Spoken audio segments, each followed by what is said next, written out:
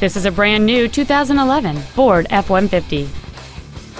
It features a six-cylinder engine, an automatic transmission, and four-wheel drive.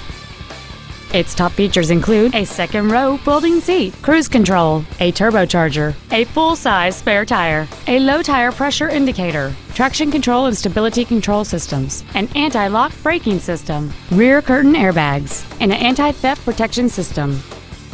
Please call us today for more information on this great vehicle. Thank you for shopping at Robinson Brothers Ford, located at 11455 Airline Highway in Baton Rouge.